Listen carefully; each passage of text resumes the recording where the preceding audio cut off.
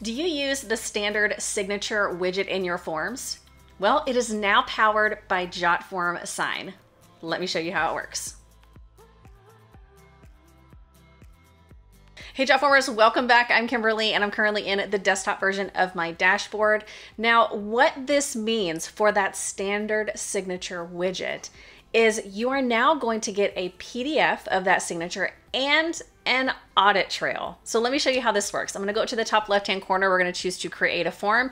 And for this example, I'm just gonna go ahead and start from scratch with a classic form. Then over on the left-hand side, we're gonna add some form elements.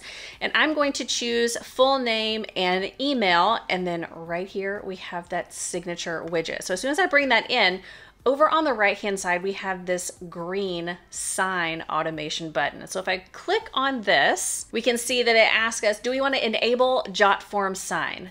Yes, yes we do. Let's go ahead and turn it on. Next, we need to choose an email field. So we're gonna go ahead and choose the email field. And then do we want to send an audit trail to the recipient? So if you want the person who signs your document to have this record of completion, you can do that as well. So let's go ahead and turn that on. We'll head up here to publish. Let's go ahead and open up in a new tab. And I'm gonna fill this out really quick. And we can see right down here, powered by JotForm sign. Go ahead and sign that and continue.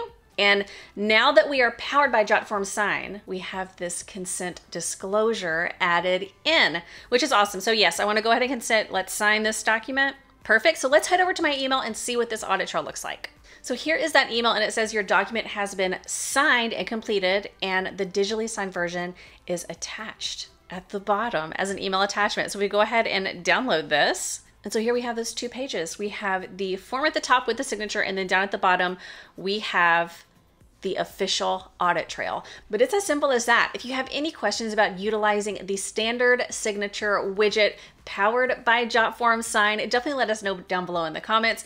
If you like this video and you got some value, give us a like down below and don't forget to subscribe and turn on the bell so you get a notification every time we put out a new video. I'll see you next time.